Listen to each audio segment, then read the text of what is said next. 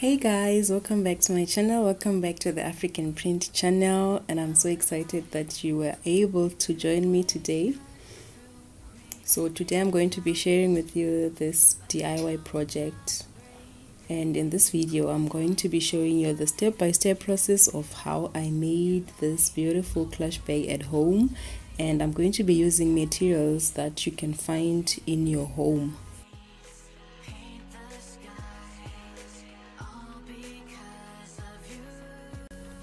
So to start off, you need to have your templates and then you use your templates to cut all the pieces of cardboard that you use. I'm just using regular cardboard. So if you'd like the full template, I'm going to post it on Instagram. Check out my Instagram page.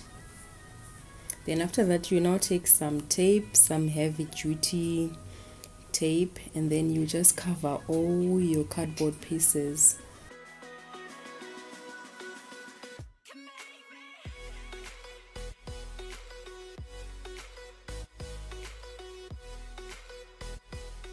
And so that is the arrangement that I used. And then I now start to use the same tape again to join them together. And you notice that I always leave a little bit of space about 5 millimeters in between the pieces to make sure that I can fold them easily. Then after that I now start to use the template to cut my interfacing. And I cut two pieces of interfacing because the interfacing is what I basically use to cut the fabric. Then I take my lining fabric and then I put the interfacing on top and then I just pressed it on.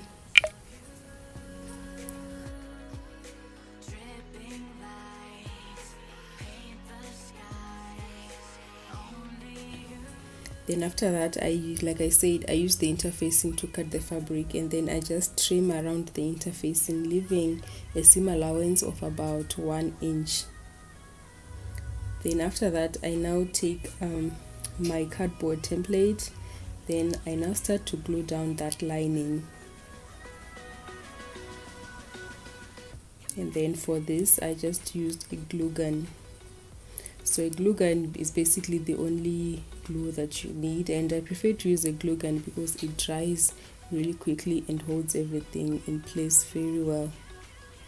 So where there are curves and stuff, you notice that I have to make little notches to make sure that the lining conforms to the shape of the cardboard template very very well.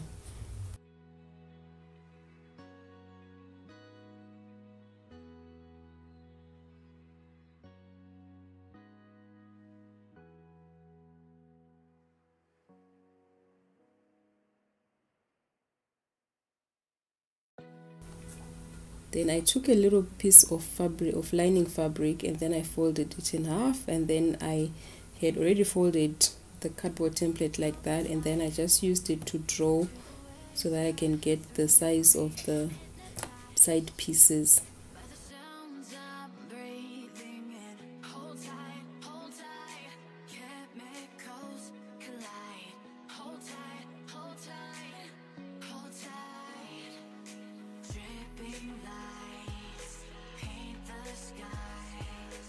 then I just go ahead and cut it out with the scissors. And I also cut uh, the same sizes of fabric of my African print fabric.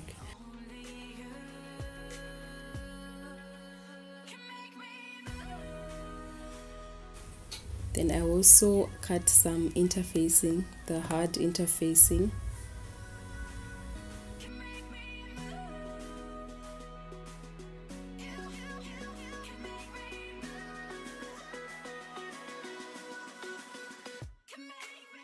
then I make sure that it's the same size as the little rectangles. Then I just ironed the interfacing on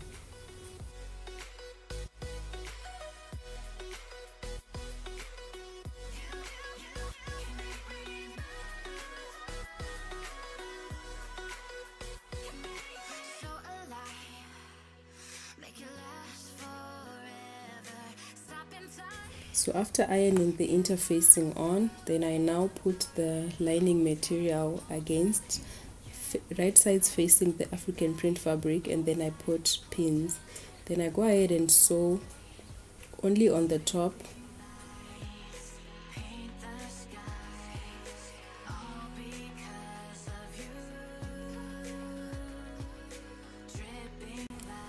Then after that I open it up and then I fold it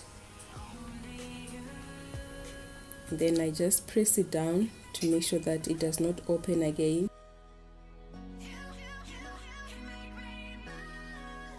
After, after that I now go ahead again and then I sew all the sides.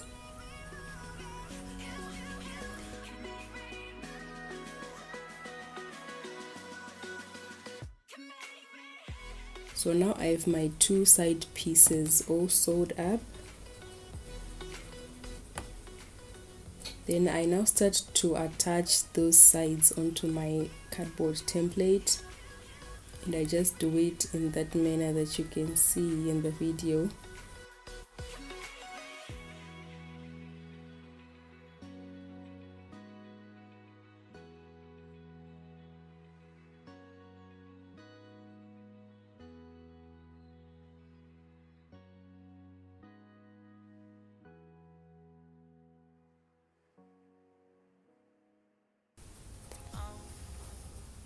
then I cut off any excess corners.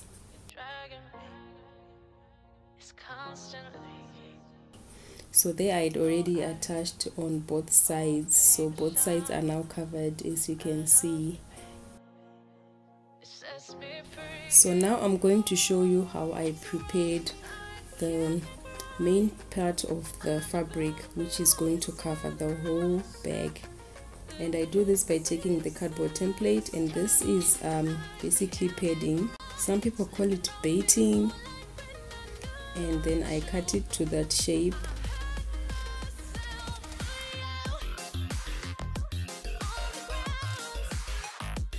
To cut my African print fabric I take the other piece of lining that I cut and then I iron it onto my African print fabric onto the inside of the African print fabric.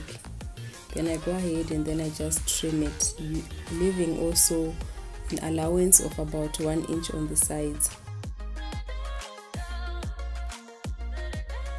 Then I now start to fold over the African print fabric onto the padding. Then I just pin it down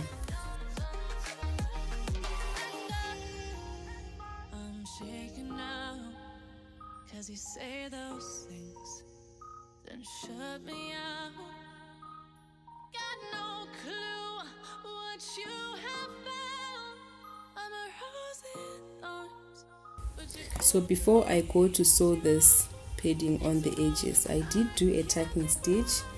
Then I just went ahead and then I sewed on the edges about 5 millimeters from the edges right round that African print fabric with the padding together.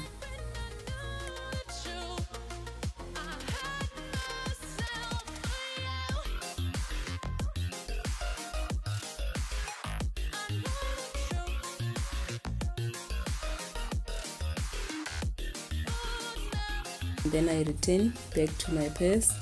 Then I start to basically align it and put pins. And you can see that I was wearing a thimble there. It was really hard to put the pins inside to secure it because and it was hurting my fingers. So I had to use a thimble because the cardboard was very very very hard. Then I just pin it all over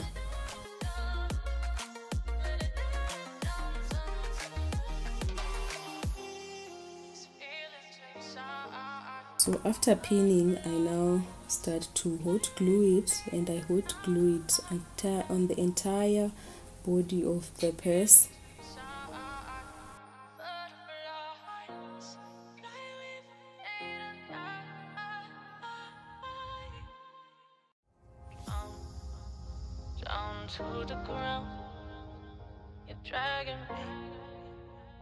constantly. No, sound. I love the pain. It sets me free. And after that, I now take a curved needle and then I start to do a ladder stitch. and because there is padding it makes it very easy because it makes the African print fabric a little bit stretchy so I did the ladder stitch on all the seams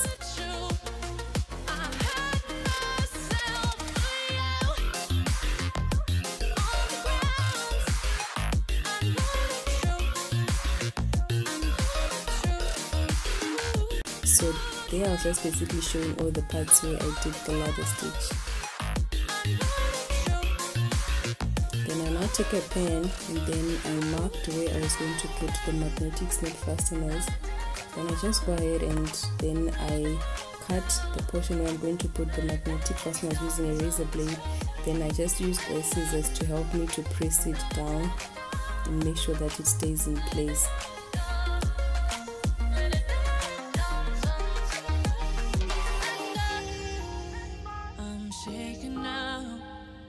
Cause you say those things, then shut me out. Got no clue what you have found.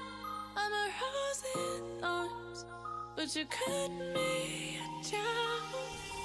Then to so to cover up um, that little metal that shows up where I put magnetic fasteners, I used this hooch and then now for my handle. I took a piece of wire and this used to be a bangle that I actually just pre-painted gold. Then I started to string those beads onto that piece of wire. So the wire also helps it to stay in that shape so that it doesn't fall over.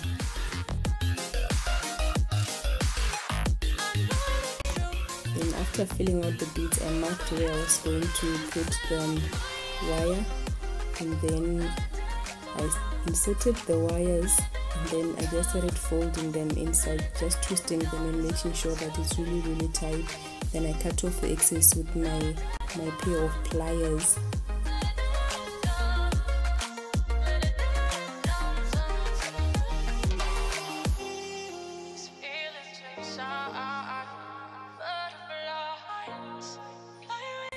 Then so to cover up those wires inside. I just took um, some blue cover buttons. I used the same fabric for the lining to make my cover buttons and then i stuck them on using some hot glue.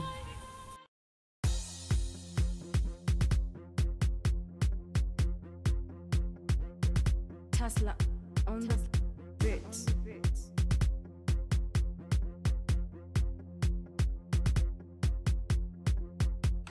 And that was basically the end result of the bag. I also made another clutch bag and i'm quite pleased with the result of this bag. I think it's very very cute. So thank you so much for hanging out with me today. I really appreciate it and i hope to see you in my next videos. Thank you so much and bye